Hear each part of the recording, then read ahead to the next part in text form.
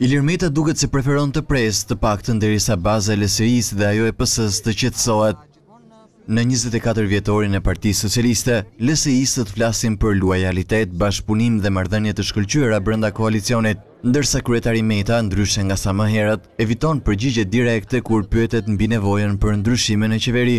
Kjo është pyetja që duhet t'ia drejtoni kryeministrit, por meqenëse zoti Basha e vlerësoi 21 qershorin si referendum për qeverinë dhe qeverisjen, mendoj se përgjigja është e qartë.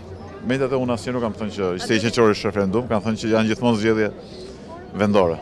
Zërat që nisën të qarkullojnë nëpër korridoret e selive partiake fill pas zgjedhjeve të njëzet e një qershorit, ngulnin këmbë se ishte vetë Meta që do t'i kërkonte Ramës ndryshime në ekzekutiv, të paktën për sa i përket ministrave të LSI-së.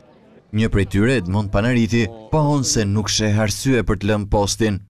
Është një pakt i cili bazohet në luajalitet edhe në frymën e bashkëpunimit e cila u duk qartë edhe që kontribuoi dhe në fitoren e jashtëzakonshme që e majta e bashkuar arriti në këto zgjedhje. Po që të ketë ndryshime në qeveri?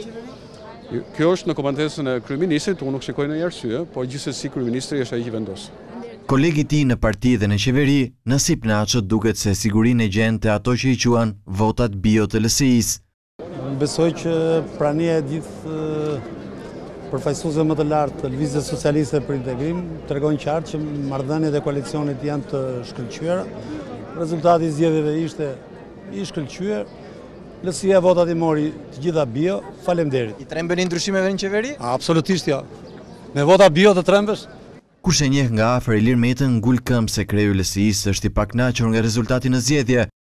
Por për të shprehur mërzinë e tij, mund të presë temperatura më të freskëta të vjeshtës.